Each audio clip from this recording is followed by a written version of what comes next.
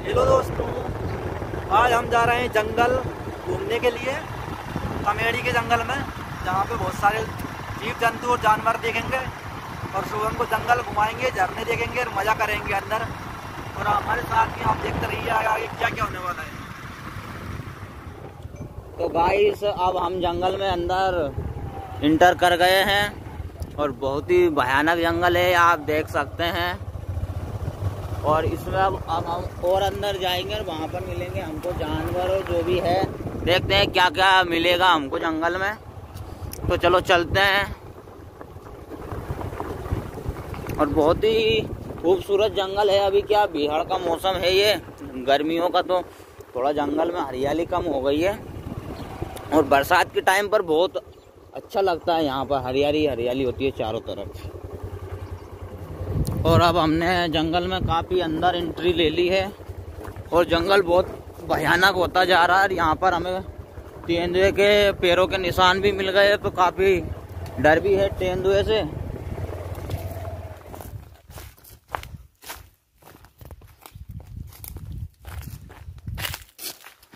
अगल बगल दिया करते हैं से।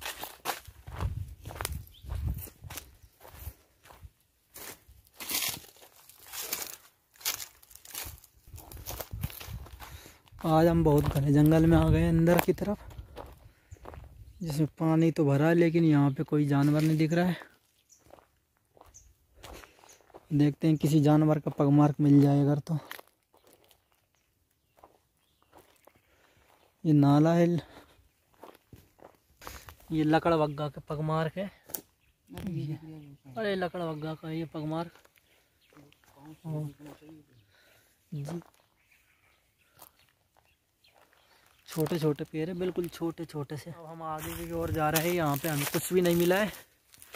और पानी में जाएँगे, वहाँ पे कुछ जानवर दिख जाए या कुछ उनके पल चिन्ह या कुछ और भी दिख जाए तो आपको एक चीज़ और बताते हैं इसके बारे में।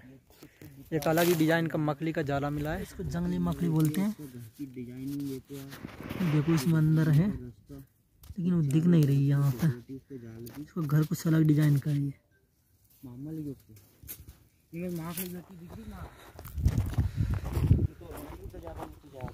हाँ। ऊपर। फिर ये तरफ़ देख रहा मैं। ये ये गुफा है। हम कोई ना कोई जानवर जानवर तो रही है ज़रूर बेटा वही देख पुरानी गुफा है दिख रही है। नहीं कर सूट। इसमें अभी तो कुछ नहीं दिख रहा है।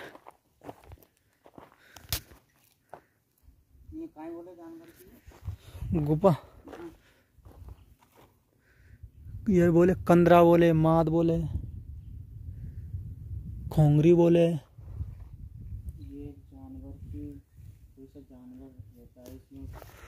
इस जगह को वैसे बायोडाइवर्सिटी के लिए प्रसिद्ध है ये जगह। यहाँ पे पानी है नमी जगह है तो यहाँ जानवर पक्षी, बहुत सारे जीव जंतु रहते हैं। लेकिन हमें कोई नज़र नहीं आया अभी तक कहीं। ये देखो दोस्तों।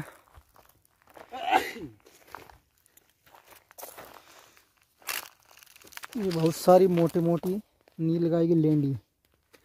नीलगाय की बिस्टा बोलते हैं इसको। जंगल की भाषा में।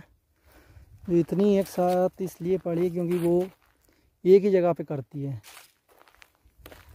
उसका एक नियम है कि वो कहीं भी चरने जाए जंगल में, घूम फिर कर आकर यो इसकी विष्टा एक ही जगह पे करती है वो। और इसका एक मुख्य कारण ये है कि विष्टा करते ही यहाँ इसलिए उसका शिकार भी ज़्यादा होता है। क्योंकि उनको पता रहता है कि वो नीलगाय कहाँ पे मिलेगी, और उनकी लैंड को देखकर वहीं पे फंदा लगाते हैं चारों तरफ़। तो किसी न किसी रोज़ वो फंसी जाती है उनमें। और शिकारी उसका फ़ायदा उठा लेते हैं। और अब देखो, बंदरों का नज़ारा आगे।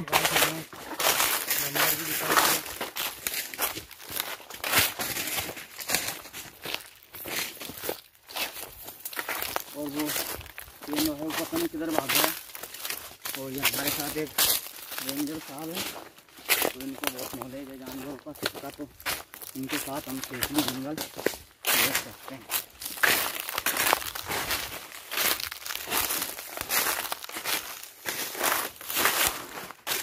वे भाग रहे बंदर।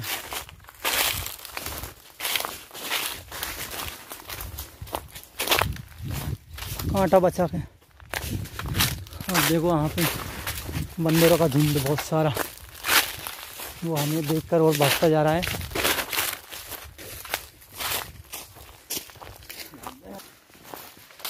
ये देखो बंदरों की हलचल।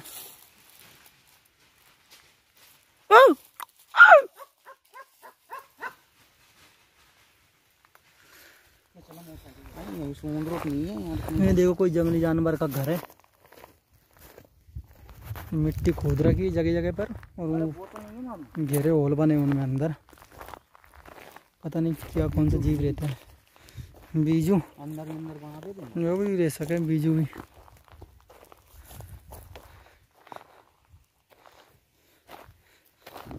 अच्छा और आज हमें जो हमारे रेंजर साहब हैं वो जंगल घुमा रहे हैं। काफ़ी जानवरों को दिखाएँगे हमें। और इनको काफ़ी नॉलेज है अपनी बीट का। इनकी बीट है, जंगल इनके दायरे में आ रहा है। उसका काफ़ी नॉलेज है इन्हें हमें आज ये पूरा जंगल की सैर कराएँगे। और जंगल के बारे में कुछ सिखाएँगे, बताएँगे।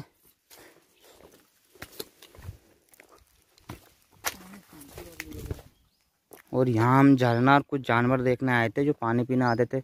पर यहाँ का झरना सूख गया। पौधा।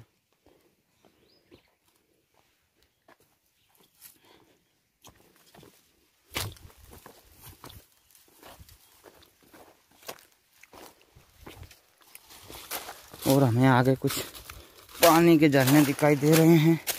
और ये किस चीज़ की वो है? बीट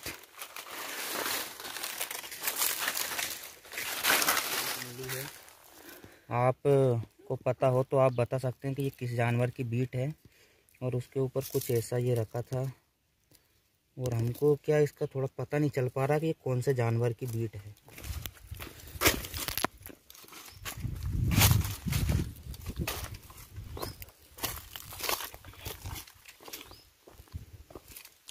कछु बता भी सही।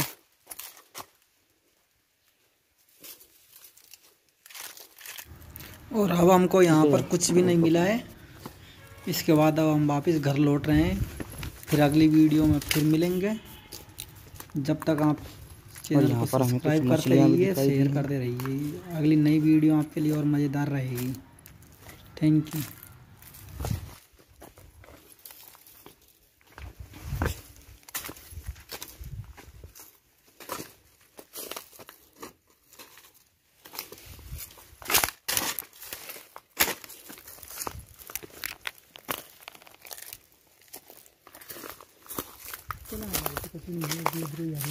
चलो।